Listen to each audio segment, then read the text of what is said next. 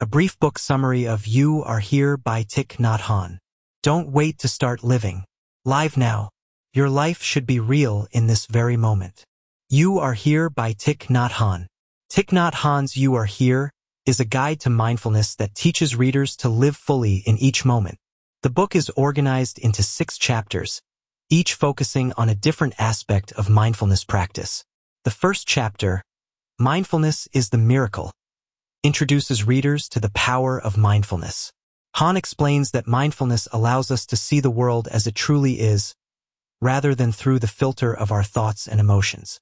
Hanh teaches readers how to use their breath as a tool for mindfulness. He explains that by focusing on the breath, we can calm our minds and find peace in the present moment. Hanh introduces readers to the practice of walking meditation. This practice involves walking slowly and mindfully, paying attention to each step and the sensations in the body. Hanh explains that walking meditation can be a powerful way to connect with the present moment and cultivate inner peace. Hanh focuses on the importance of taking care of our physical bodies. Hanh teaches readers to listen to their bodies, nourish them with healthy food, and move in ways that feel good. He also encourages readers to develop a loving relationship with their bodies, rather than criticizing or judging them. Hanh explores the concept of interbeing, the idea that everything is interconnected and interdependent.